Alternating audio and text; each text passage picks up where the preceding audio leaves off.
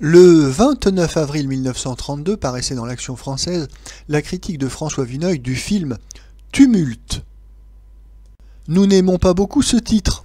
S'il veut seulement signifier que l'action sera mouvementée, il est un peu prétentieux, et on ne lui voit pas d'autre acception. Le film est de chez Eric Pommer, Siodmak metteur en scène, où l'on fait décidément de la besogne soignée, assez impersonnelle. Nous ne résumerons pas le scénario, nous avons connu des imbroglios policiers plus palpitants en soi que ce drame du milieu, mais l'important est que l'intérêt de ce film copieux soit soutenu jusqu'au bout. Les infortunes amoureuses du récidiviste Ralph sont enrichies fort adroitement d'épisodes variés.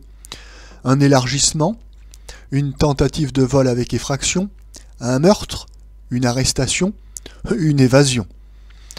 Ralph, deux fois trompé par sa femme, et qui ne parvient pas à avoir la peau de son second remplaçant, prononce à la fin, devant son copain le commissaire, venu lui mettre pour la troisième fois les menottes au poignet, quelques paroles d'une saine philosophie qui ne sonne pas trop faux, grâce à l'accent de Charles Boyer dans la bouche de ce mauvais garçon. L'art du cinéaste, en pareil cas, consiste à ce qu'il tient le spectateur, sinon en haleine, du moins en éveil, la multiplicité des scènes, qui sont rendues piquantes par quelques détails, même si leur importance est minime. Visite de Ralph, camouflé en caissier, à la maison de correction où il vient chercher le neveu d'un ami. Scènes intimes dans l'intérieur du chenapan, ou dans une prison très avenante. Il n'est pas un bout de raccord pour lequel on ait cherché un cadre, une situation. On est assez adroitement sollicité pour oublier l'image de tout cela. La tentative de M. Tourneur dans son film Au nom de la loi, en face du monde extérieur, est sans doute plus intéressante, mais on reconnaît que le travail de la firme Pommer est plus réussi, parce que public, au meilleur sens du terme. Il faut se garder de négliger tout ce qu'il implique de recherche, de méthode, de patience, en vue de rendre attrayant un argument assez plat. Signalons que l'on a repris, chemin faisant, quelques effets au maudit de Fritz Lang. L'apache ouvrant son couteau devant une victime désignée, mais pour peler une pomme, ou se grimant en gardien de nuit au coin d'une porte pour confondre toute une charretée de choupos. Ces emprunts s'excusent aisément, emportés qu'ils sont dans la succession rapide des gestes et des faits.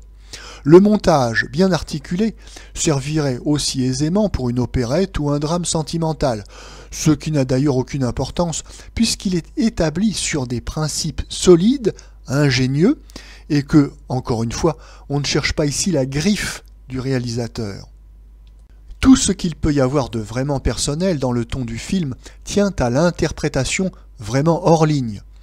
Le film ayant été établi en double version, on devrait s'offusquer de voir dans les décors d'une kermesse spécifiquement allemande, dans des costumes qui n'appartiennent qu'aux voyous berlinois, des acteurs du type le plus français.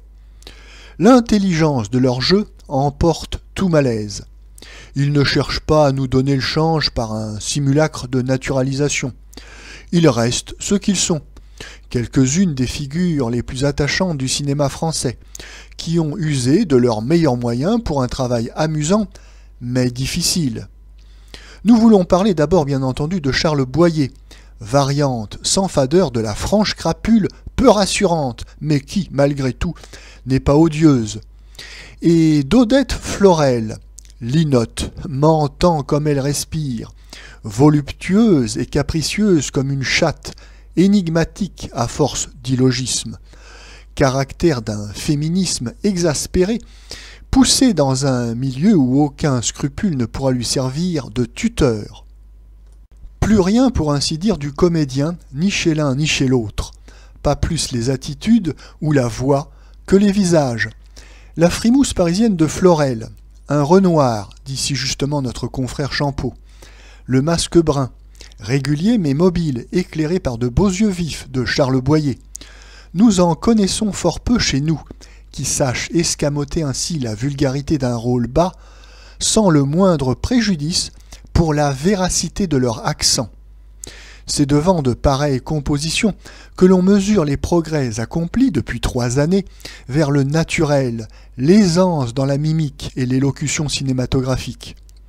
Si l'on songe que Florel et Charles Boyer viennent tous deux du théâtre, que leur expérience des studios est récente, aucun doute ne subsistera sur leurs affinités physiques avec l'écran. Non loin d'eux, il faut placer Robert Arnoux, dans l'interprétation du gamin sournois, vicieux, taciturne, graine de bandit compliqué d'hypocrisie par le régime de la maison de correction. Cela aussi est très remarquable. Marcel Vallée, dans un rôle de chenapan jovial, trouve une revanche aux gambades quinquagénaires qu'il eut le tort d'accepter dans La fille et le garçon. Le brave Armand Bernard est chargé de bégayer quelques répliques et s'en acquitte très bien. Tommy Bourdel, Marcel André, Clara Tambour sont également excellents. Une affiche complète de vedettes, comme on peut voir. La discipline aidant, cela a fait merveille.